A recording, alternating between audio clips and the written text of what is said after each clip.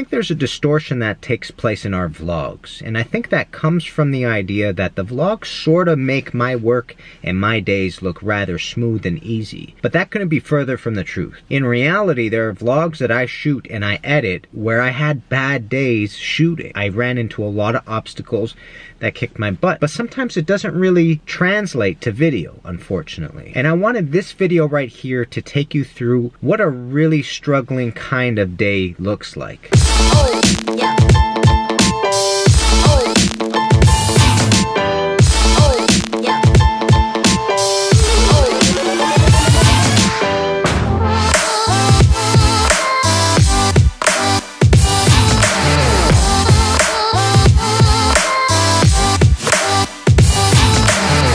Here at the job site, just want to show you what we're dealing with right now. Take a look over here. We got ourselves a three-piece vanity faucet. We're going to be swapping it out with this one right here, the Price Pfister Bria, and we're also swapping out the PO plug as well. So you have a PO plug here. It's probably the same age as this faucet, but one thing I got to show you is this lever is how the PO plug closes. That's the stopper. That's how you activate and deactivate the stopper. We're going to be putting in a new one. And this is going to be a clicker. So instead of having a lever all you have to do is push the top of the PO plug.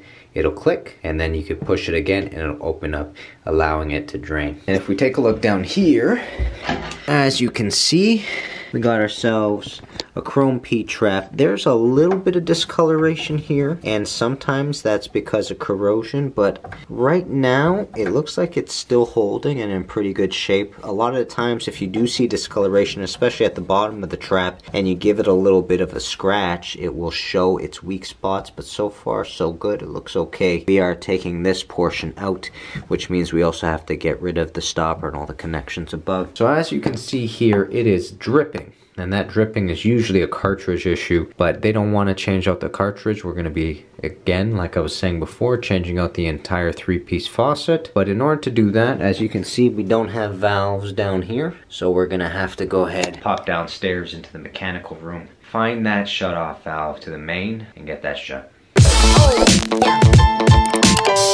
so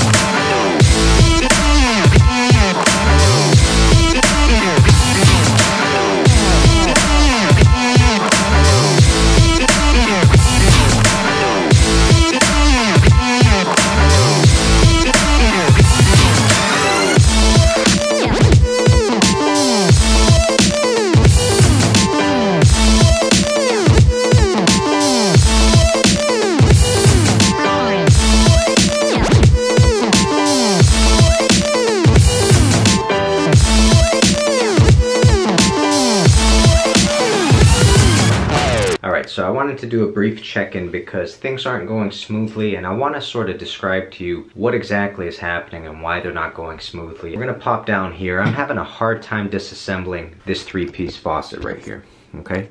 And here's a big hint as to why. Do you see the discoloration happening on the cartridge right here? And the discoloration happening on this cartridge right here, this discoloration is a form of corrosion. And this is also happening down below. Now there are nuts that secure these handles to the porcelain itself and they're underneath and they are threaded onto a stem and that stem is also metal and the metal is essentially seizing on one another and it's virtually impossible at this very second to unthread these nuts to take these out. If it was possible, they would have been out by now. I have a game plan in mind. I'm to explain it to you, but let me first show you the issue down below. Safety glasses on. Let's go. So, this is an old three-piece faucet here, okay?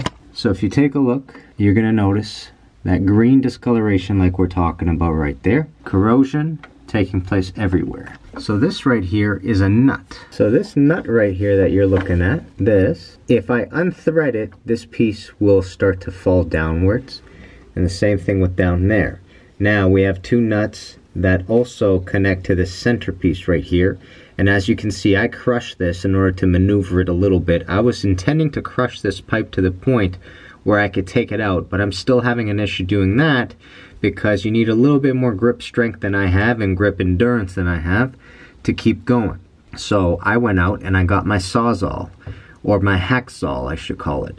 And what I'm planning to do is take it, cut this portion here, and then cut this portion here. By freeing them up, I'm going to be able to attempt to unthread that and attempt to unthread that. And if I'm successful in either of them, then we're in good shape. If I'm not, then I'm going to have to come up with a brand new game plan, which will probably require more hacksaw than I currently want.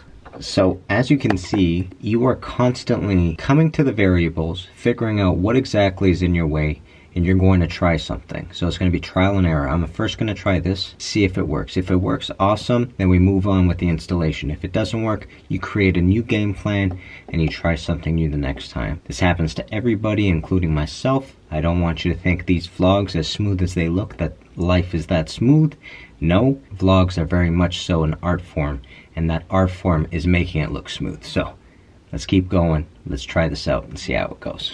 Oh, yeah.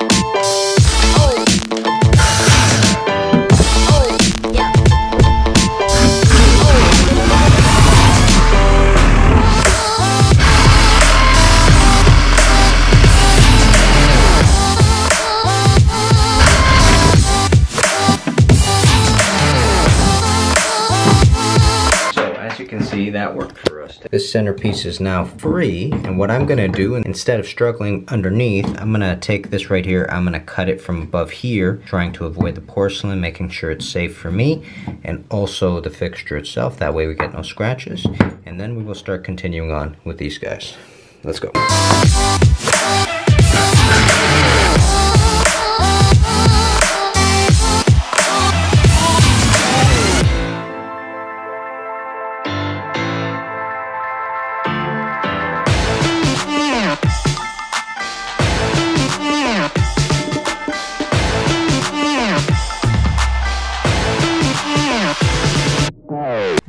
So I want to show you my next game plan. Take a look up here. We have this handle that we're working on and it rotates.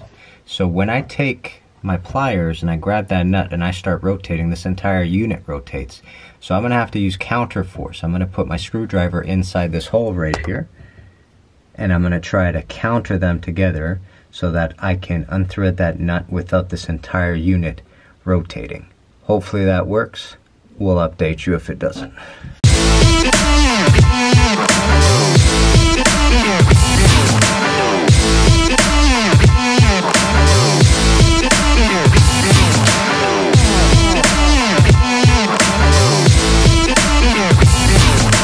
So that didn't work. My next game plan is figure out what exactly is keeping this nut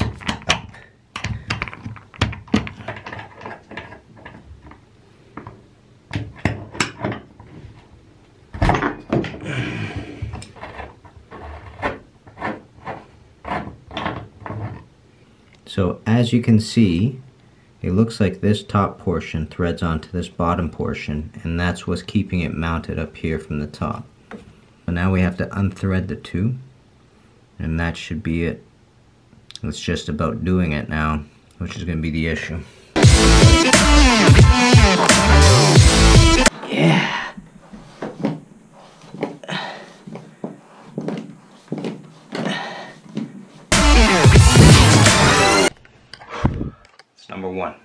So we figured that out. Let's go.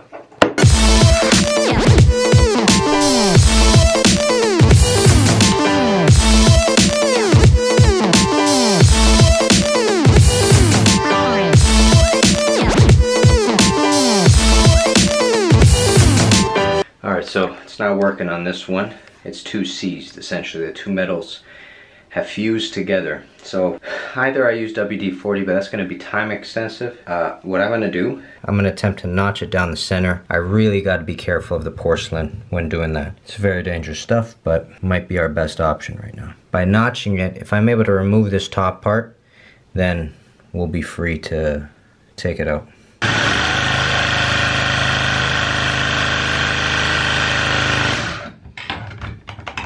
So now that the notch is here, I'm going to attempt to break this metal piece around, which is securing uh, the actual metal piece on the bottom up here. If I'm able to break it off, it should fall down.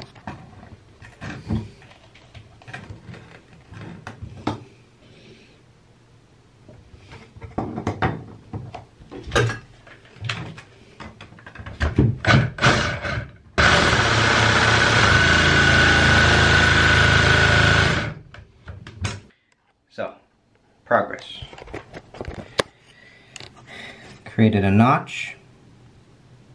And what's going to happen now, I'm going to unthread this off the inner piece. It's going to fall straight through. One, two. See? Came off. Same with this side. managed to do it.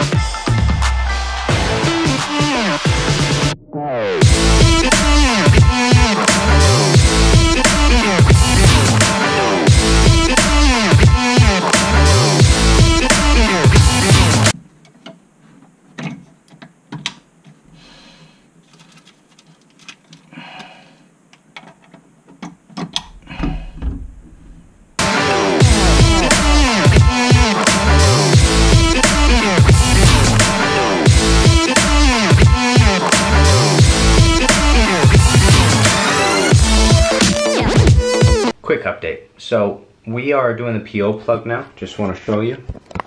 We're good there. We finished the faucet. But one thing that I gotta say is with job sites like this, what you're gonna notice is you're gonna spend a lot of firepower doing the first phase, which is the most difficult phase. You run into an issue right at the beginning, put all your effort into your uh, problem solving ability, also to your physical ability. Trying to move those uh, rusted nuts around were, was very difficult. I used a lot of energy to do that. So as you progress throughout this installation, you get more and more tired. This is common. Right now I'm gassed, in other words. Like I just don't have that juice that I had at the beginning, you know? That firepower that I had at the beginning. All you gotta do is keep trudging along. Do your best, screw the rest. That's the motto of the day. It's gonna come together, but it's gonna be a little bit slow. That just, that's how the dice rolls, you know what I'm saying?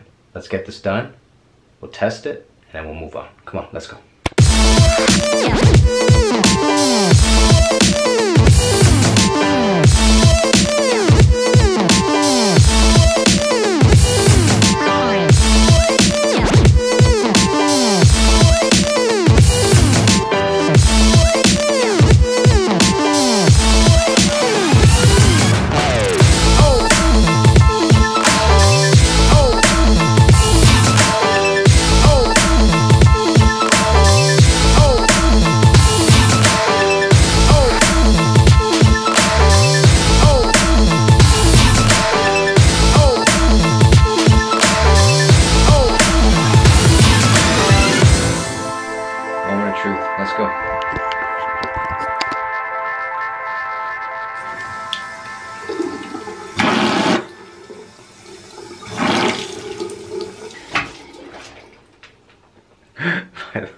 Soaked.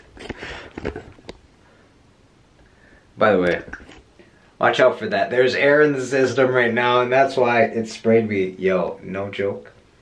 I look like I peed myself.